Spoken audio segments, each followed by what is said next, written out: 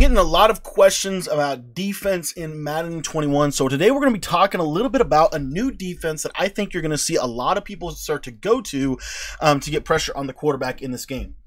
What's up guys, my name is Cody and I want to thank you for taking the time to watch today's video. Now if you're brand new to the channel, maybe you've never seen one of my videos before, what I do on YouTube is I break down how do you get better on offense and on defense, right? I'm going to teach you different tips and tricks and strategies so that you could be effective in Madden 21. And I try to learn from myself, I learn from other players, learn from practicing, learn from my losses, um, and I love learning about this game. So uh, if you're if you're encouraged by that or you want to get better, go ahead and click the subscribe button at the bottom right hand corner of your screen. I post new videos every single day at 2 o'clock, at 4 o'clock, at 6 o'clock, and at 8 o'clock p.m. Eastern Time.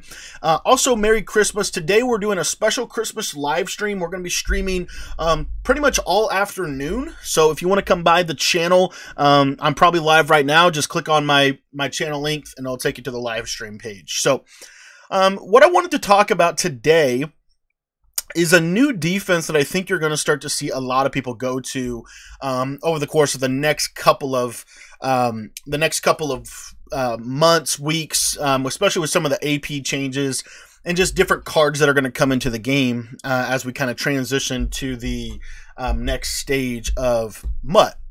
And that is the 3 4 bear. Now, I've talked a little bit about the 3 4 bear in the past, but we're going to talk a lot about it today. Um, and you see here, I'm putting my zone drops to 25 yards, my curl flash to 25 yards. Now, the, the key with this defense, you want to have auto flip on, in my opinion, but you want to have you want to set it to base align. Okay.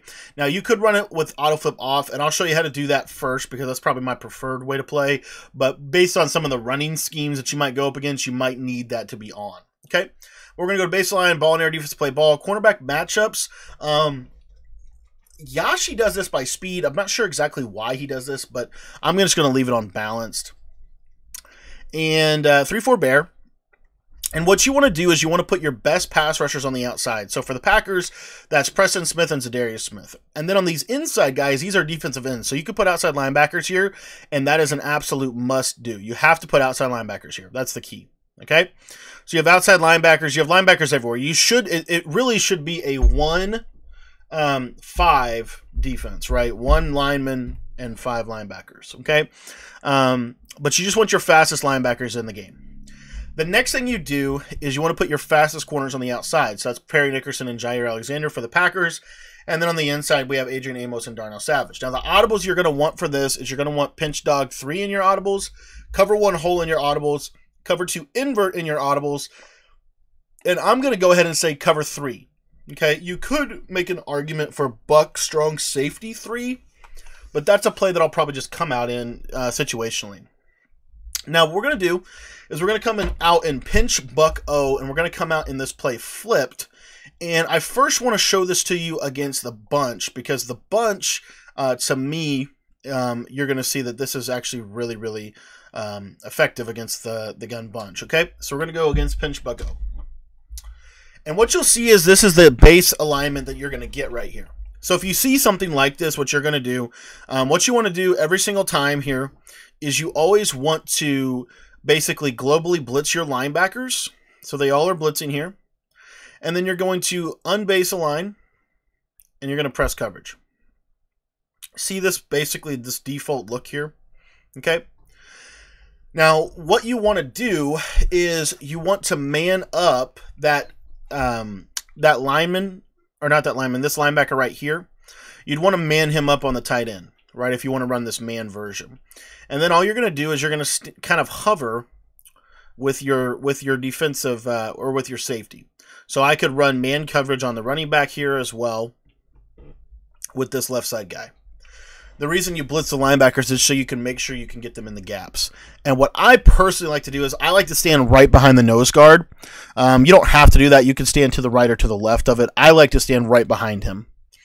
And at the snap of the ball, what you're going to see here is you're just going to run down and you're going to get instant pressure at the quarterback. Now, the reason this is going to be really good is not just because it's good pressure, but it's because that it's instant pressure. Okay, if you notice, it's instant pressure, meaning the pressure is coming in instantly, right? Um, that's what's going to happen with this blitz. And you'll notice that you can do different things to make it even better. So you can mess around with your line crashes on this, and you'll see if I can mess around with my line crashes, it can make it come in off the right edge. It can come in off the left edge. It, it really, um, it doesn't matter where you're at. The key is the hovering of your safety, and you can experiment with different crashes and different stunts. Now, why this is important is let's say that they block the running back on the side. I just want to show this to you, okay? So let's say that they block the running back on the side. So we set up our play here, um, and we're going to man up that tight end with that linebacker so that we can use, feel free to use her and get basically over the middle covered. And they're going to effectively, what they're going to do here is they're going to basically um, block their running back. So let me show you that really quickly. Whoops, my controller over here. And at the snap of the ball, what you're going to see is they're going to block the running back, and he's going to be able to pick up the pressure here. So one of the keys with this is how do we get that linebacker on the right side or on the left side? How do we get the linebacker to blitz if they if the running back goes on a route? We want the linebacker to cover him, but if the running back um, if the running back doesn't go on a route, then we really want the linebacker to play him right? We really, we really would rather have that linebacker um, be able to, to basically play the running back if he goes on a route. If he blitzes, um, or if he doesn't go on a route, then we want him to blitz. Well, let's try this right here. So now we're just going to basically reman them up. Okay, so we're remanning them up, and you see here he's this the, the back still doesn't um, the back still unfortunately doesn't doesn't get manned up. Okay, so that's obviously uh, kind of irritating and not something that we want. So now let me show you this. So we're just going to run this play stock, and we're going to block that running back. Snap of the ball. You see that linebacker comes backed off. So really what you're going to have to do here is you're going to have to kind of play a little bit of chess game with the running back, in my opinion. Um, that's just kind of the way I see this. So what I would do is I would man up I would man up the tight end with the slot, okay? And if the running back goes on a route, then you know that you have him. You're still going to get the instant pressure. But if the running back goes on a route, you have him. But if the running back block, or if you block, um, you see you're still going to be able to scream. You're still going to be able to get pressure home. And that's just blitzing, I believe that's just blitzing six. So you're sending uh, six pass rushers at six blockers, and you're getting one free every time. So I'm sending all my linebackers. So I'm sending three, yep, three and three. So I guess I'm technically sending seven. Okay, but everybody's going to be manned up because I'm going to drop that linebacker on the right side in man coverage. Whoops. Uh, let's get that set up. And now you're going to see everybody's manned up. So it's going to make it hard. He's going to have to make a quick read. And uh, what's really nice about this is, and what I love about the 3-4 bear, is let's say they block the tight end now. Okay, let's say they block, let's say they block the tight end. So they block the tight end, and we're still watching the, the running back right? So this is a max protect. We're going to send seven. And what you'll notice here is if the tight end blocks, um, if the tight end blocks, the linebacker should come in, um, should should come in after him. So you'll see this again one more time. And again, I'm just manning up that linebacker on the right onto him. And he's going to run a max protect. Snap the ball. And you see he's going to come. Now, the one thing you can also do to make this work against like a max protect set, like let's say we were in that situation with the running back, right, that we were showing you, where the linebacker on the right side is not, um, like he's manned up on the running back, but he's not going, right?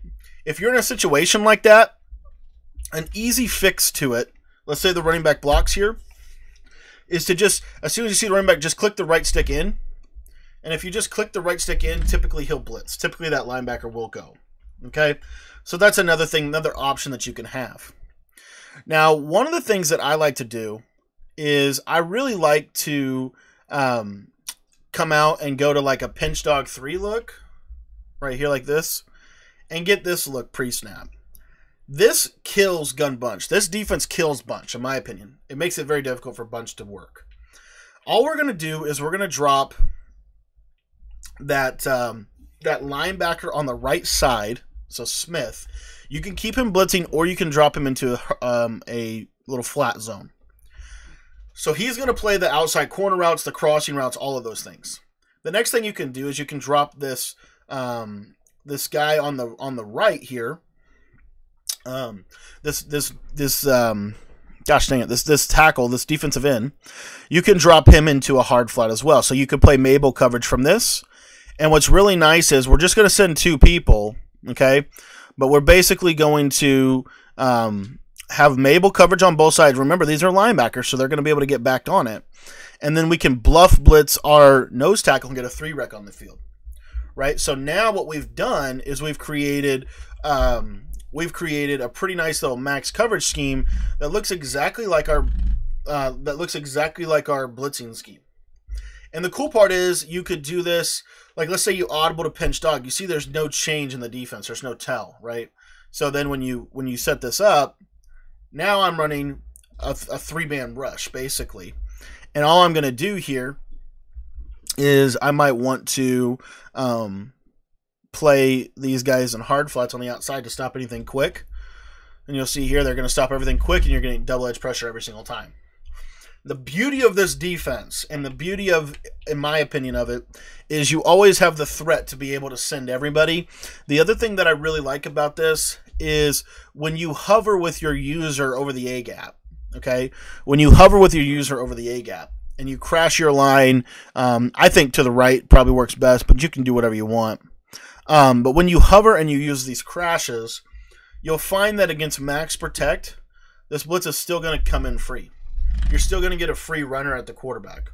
So you're able to, because of that free runner, really force them to have to adjust.